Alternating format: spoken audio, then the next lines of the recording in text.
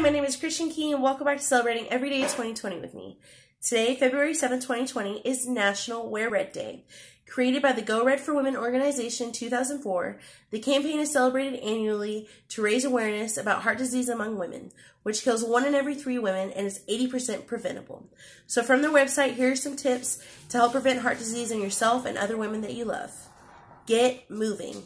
At least 30 minutes of moderate to intense aerobic exercise every day, such as a brisk walk, a nice little bicycle ride, or maybe even a swim.